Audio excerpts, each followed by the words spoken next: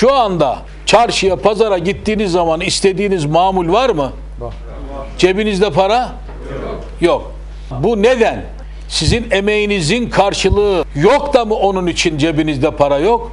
Değil. Emeğinizin karşılığı aslında olması ke- gereken para cebinizde olmadığından biz piyasada istediğimiz manada alışverişi yapamıyoruz. Onun için gayri safi milli hasıla dediğimiz bu malın karşılığında devlet parasını basacak. Aldığı dövizin karşılığında kasasına koyduğu, hazinesine koyduğu dövizin karşılığında parayı basmayacak. Dövizin karşılığında parayı basarsa o para bizim olmaz. Bizim para hangisi olur?